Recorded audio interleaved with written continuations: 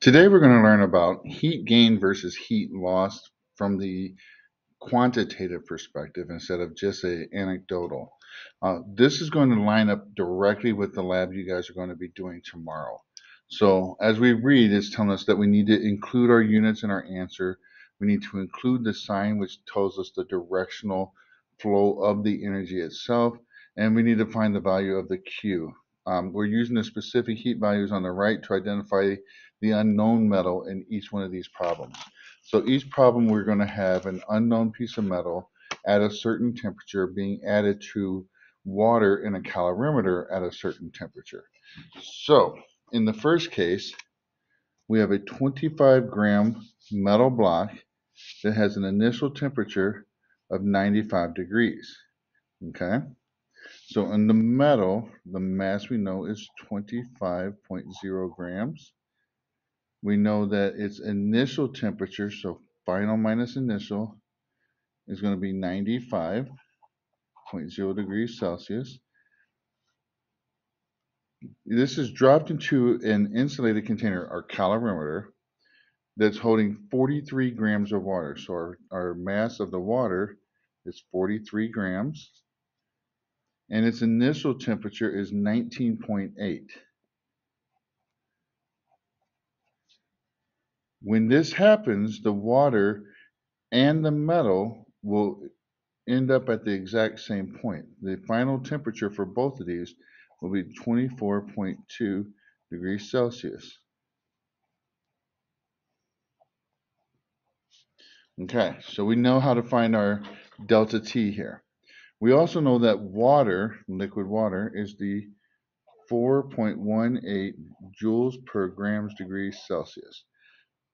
So what we're going to do is we need to find the Q because right now we're missing the specific heat and the Q for the metal. In the water, we're only missing the Q. But if we remember that the Q of the reaction is the negative Q of the surrounding, once I find the Q of the water, the opposite sign of that Q will be the Q for the metal. And then I will only be missing one variable. I'll be able to find the specific heat, and as such, I will be able to find out what type of, of metal it is. So, our mass is 43 grams. Our specific heat is 4.18 joules per grams degrees Celsius. And our delta T is 24.2 minus 19.8. So our delta T is 4.4 degrees Celsius. So I'm going to take that and multiply it times the 4.18 times the 43. And I find that my Q is 790.86 joules. So the heat that's lost by the hot metal is the opposite sign of the heat that was gained by the water.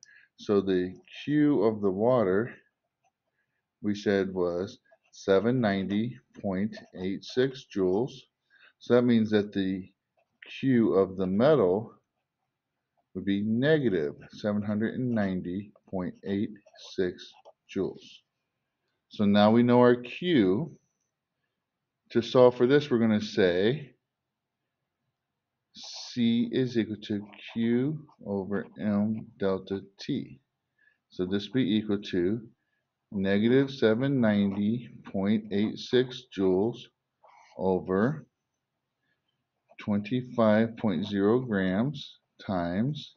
Now we're going to take the 24.2 and subtract 95 from that. So this is going to be negative 70.8 degrees Celsius. So in parentheses, I'm going to put this parentheses here, parentheses here, parentheses here. So I'm going to have a double set of parentheses. So open parentheses, negative 790.86 divided by, open parentheses again, 25 times negative 70.8, close parentheses twice, and we end up with C is equal to 0.447.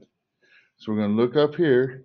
Which one would be closest to 0.447? This one would be iron. Now, your job is to do the rest of this worksheet. Whatever you don't get done in class will be your homework for tonight. And I'll see you guys tomorrow when we do the heat of the specific heat of a solid lab. Be nice to the sub. Have a great day.